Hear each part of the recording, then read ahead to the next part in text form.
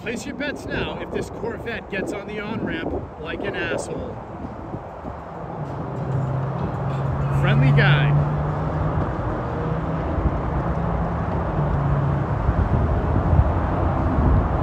What about him?